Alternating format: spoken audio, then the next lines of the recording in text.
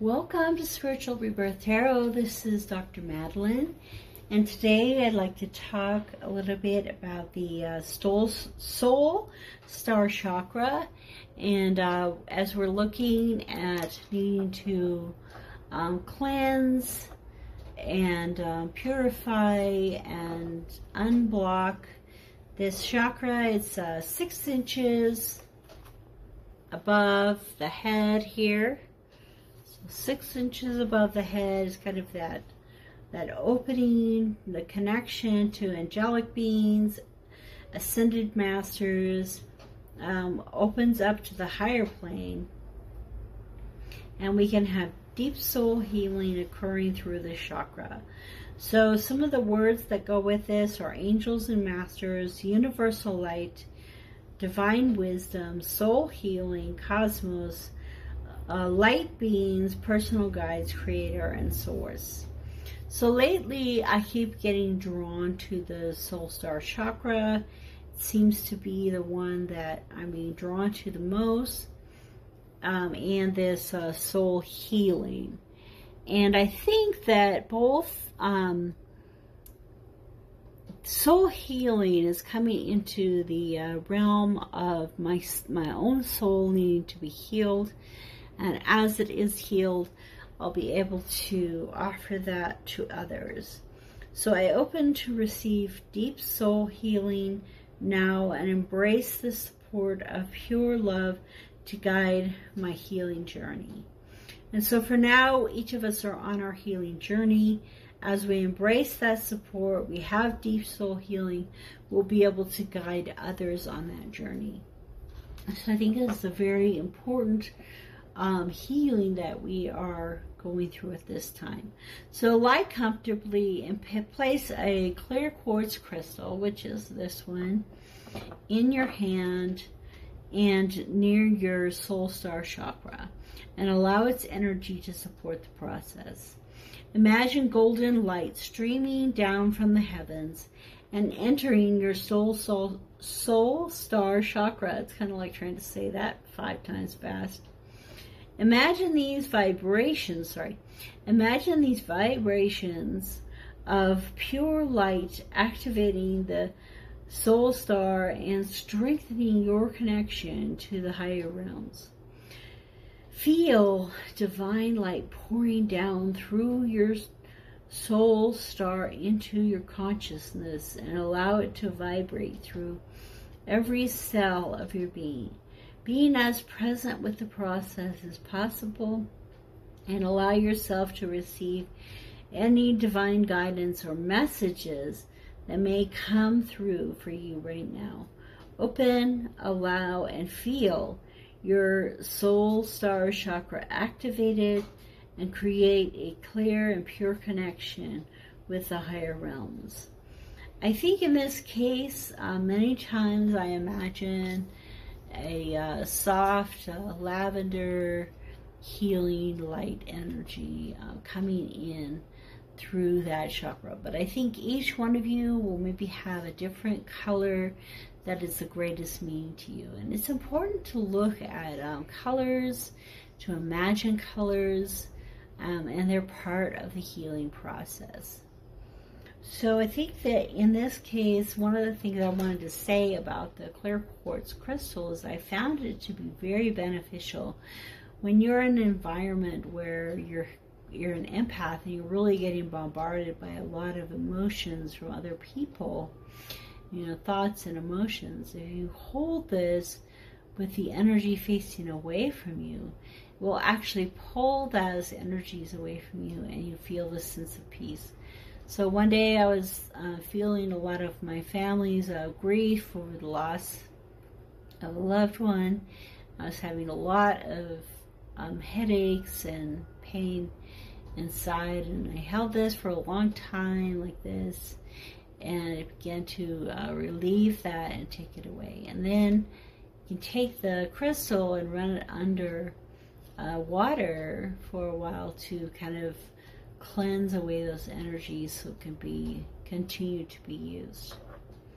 So I, I everyone has a different thing that helps them, but I have found a lot of power and help in the uh, clear quartz uh, crystal.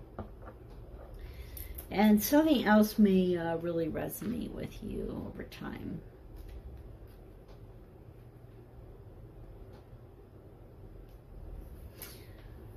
Okay, so let's take a look at the animals um, that maybe would want to help us in cleansing and things that would like to tell us to do with cleansing of this soul star chakra.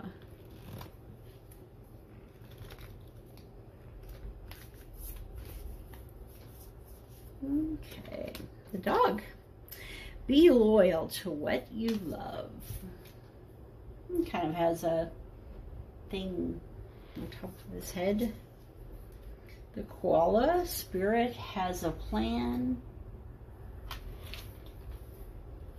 And we've had this one before, the elephant, learned from the past. So, uh, you know, I'm thinking the, the, the soul star chakra helps us to connect to the higher realms. And so my first thought is, you know, the, the ancestors, you know, learn from the past. So we're looking at the, the ancestors, the shaman, um, kind of like from that perspective. This one, I'm, I'm kind of thinking of maybe all of the, the gods, especially like the Hindu, um, Hindu type gods, the, uh, all, all of those uh, different gods that we may be um, looking to. And then for the dog, it's kind of like the familials, the friendly. So, the, you know, the angels and the things that come right next to us and help us in our daily lives in a very special way. So, um, be, be the angels are saying to you, be loyal to what you love. And so, so many times, especially lately, I've I, for a long time, I felt like I was in prison and, and that my mind and my heart and my body were in prison. And that was nobody's fault. It was, it was my own. It was myself that was imprisoning myself in my own thoughts. And as I awakened, as I came free of that, I began to look everywhere and see everything. But in the end, you, you start to find what is it that you truly love, what is really important to you, and to be loyal to that. And so I think that's that's a really important uh, part.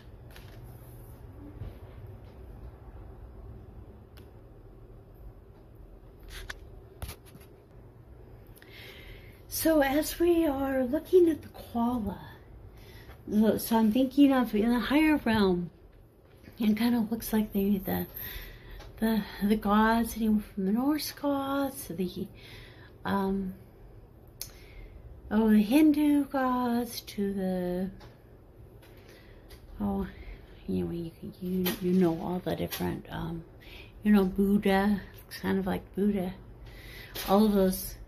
So koala spirit says um, spirit has a plan. So the koala spends most of its life in one tree, eating one food, and just it's it's cute it's cute to death but it's kind of doing its own thing. And uh, yet in that um, there is a plan unfolding and a place and a direction for us to go.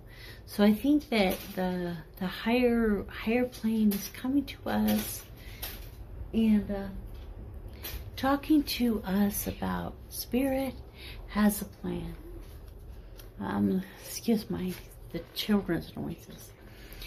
So the third one, the elephant, I think we're looking, it says learn from the past. So the stories of the past, the shaman of the past, the ancestors, our own past stories, our grandparents, our great grandparents, our parents, their stories, and learning from the past to help us with the future. And so I think that that's a big part of this uh, soul star chakra coming, uh, bringing into us this uh, wisdom. So if we want to take a look at the uh, the shaman and cards and see what they have um, have to say.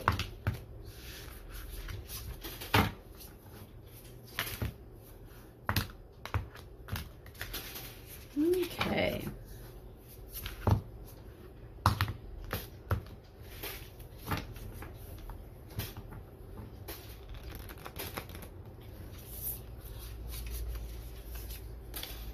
Okay, it's the Sorcerer, which is number 48. So when we take a look at the Sorcerer, let's look at the uh, book, see what we're talking about. 48. Okay, the essence. This is, so the essence of the card, here's the sorcerer card, it has really beautiful presentation. Her face is painted, the sun and the rainbow, the other planets around her.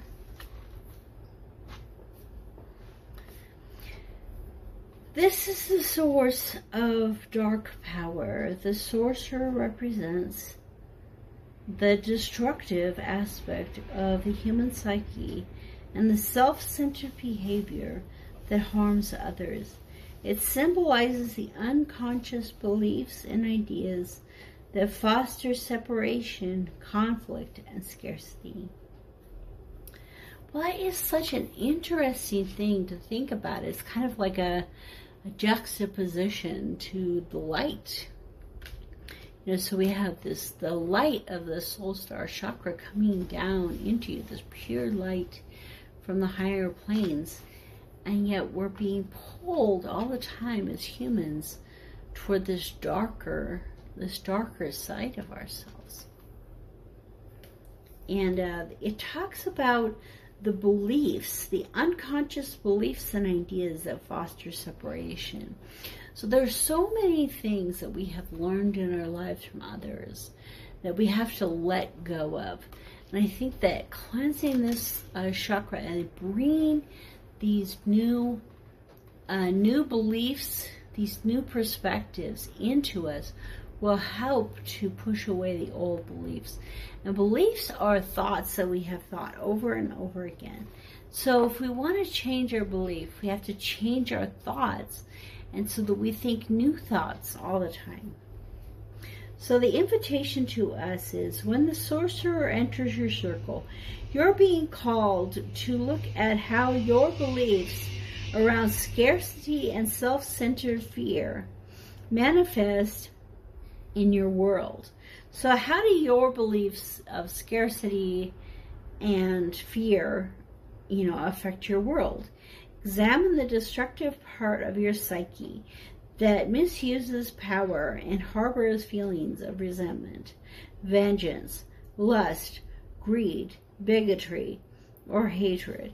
Perhaps you've harmed someone because of these dark tendencies. If so, all is not lost. You have only forgotten that all beings are interconnected and the universe is abundant. The sorcerer arrives to challenge you to change your thinking. You've been given a second chance. Correct your course and practice not blaming others for the darkness that lives inside of you. Make peace with it and choose another way. Okay, so the medicine. Have you been feeling out of sorts because you've been faced with your own character flaws and the pain that you inflict on others when you are out of alignment? So when we are out of alignment with the source, with God, um, then we will harm harm others with our actions and our thoughts and our words and our behaviors. So, are we feeling out of source because we've been faced with these realities? Radical self acceptance is called for. You must reconcile these darker aspects of your nature so you don't behave irresponsibly and cause more harm to yourself and the ones that you love. It's time to come out of denial and accept responsibility for your words and deeds. When you meet the energy of the sorcerer with humility, this destructive power transforms into grace. Well, that's cool. When you meet the energy of the sorcerer, so when you meet this darkness with humility and you say, yes, I do cause a lot of the problems and the or evils in my life. And by reacting differently, I will have a different, uh, different life and a different approach to life. When you meet these energies with humility, this destructive power transforms into grace. So it transforms from destruction into grace, which you can use in service to the highest good. Perhaps it's time to make amends. Do it. It will set you free from the shadows and let you step into the light. And so, accept with humility who you are and step out of the shadows into the light. So let's take a look at the tarot and how the tarot is asking us to learn lessons from this uh, chakra, the soul star chakra, the cleansing, purification, unblocking, so that we have a more direct connection to light, to the higher planes, and to our guides and those who are guiding us on our path.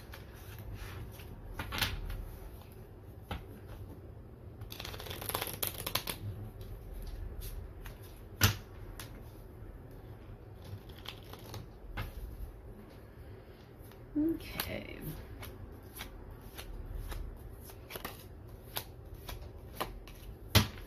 Okay, the world. That's one of my favorite cards in this deck. Uh,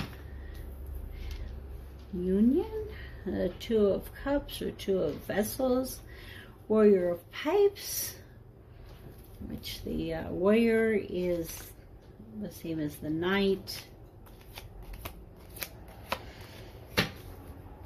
So the uh, the Knight of Wands, the Trapper, pregnancy. The Trapper is the uh, two, Two of Wands, and pregnancy is the Four of Cups.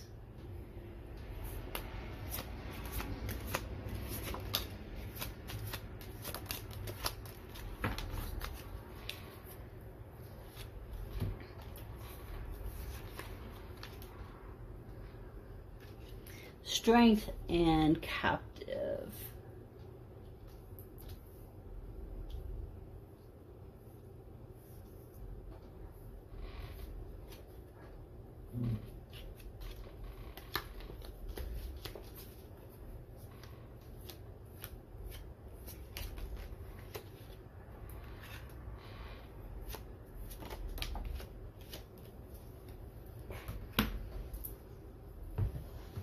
Okay.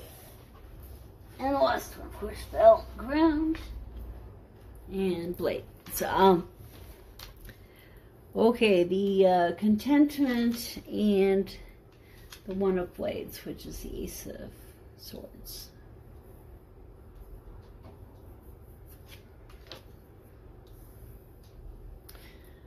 All right, so um, let me do this.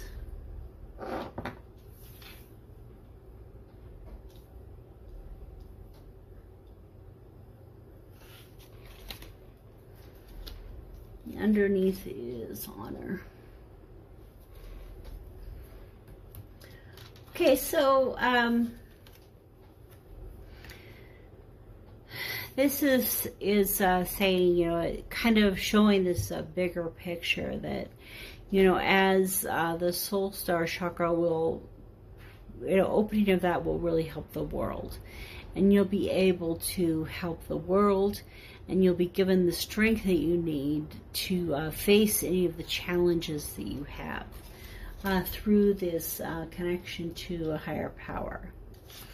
And having union um, with that will bring um, you the strength that you need to fight whatever you have to face. So in this case, he's the captive.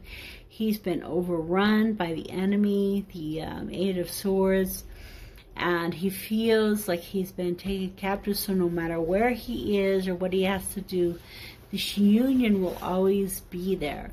So no matter where you are in life, this uh, soul, this uh, soul star chakra can be open uh, so that you can be getting the guidance that you need.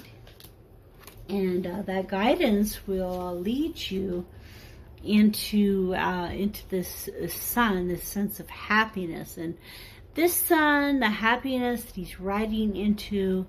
Um, he knows, you know, the power, the it has it has a true sense, um, a true sense of the wands. You know, has this fire, fiery energy, um, the moving forward. And it's interesting because this wand has been broken. And so at the same time, there are things that he doesn't notice that are broken around him that are going to need to be fixed. And so as time goes on, you know, they have a lot of contentment. They have what they need. They have the water that they need. They have the horse. They're riding home. And yet the sun is beating down on them. So even in these really hard times, they know that they have what they need because of this light shining into them through that uh, soul star chakra. And so we look at the um, the trapper, which is the uh, the two of wands. He's coming back from the hunt successful. He's our hunter.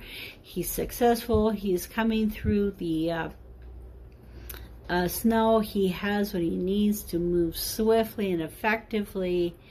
And so he his uh, journey isn't finished. It's kind of just begun. So he's finished his hunting and he's begun his work home. And while he is doing that journey, he kind of gets a new inspiration, a new direction, a new thought, a new focus, a new strength um, to go to go the distance and to, to take what he needs.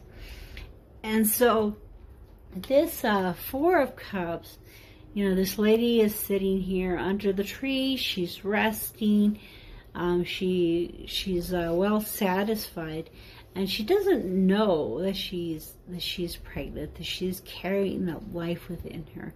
So the tree of life that has begun again and continued on. So it can it can be representative of new birth, and certainly um, this this soul star chakra will help us with a rebirth um, and it's new birth, and it's forming something new. It's kind of this this inspiration beginning to grow, and as it grows, it it finally culminates in this uh, this four of four of wands, which kind of is the it's the happy celebration card. You know, for some people, you know, it can even be the wedding card in this sense. You know, the, they're making a good trade and they're giving honor to each other. So as we um, talk to the higher beings, the higher powers, make sure that we always speak with honor. Okay, so um, we have, through the soul star chakra, we have the power to learn about the things in our life that are holding us back and holding us down and keeping us in the dark so that we can, through humility and grace, walk into the light. And so during this time, to hold on to the things that we love, we know that Spirit has a plan and learn from the past. So um, I pray, pray for blessings for you as you heal, cleanse, and open the soul star chakra.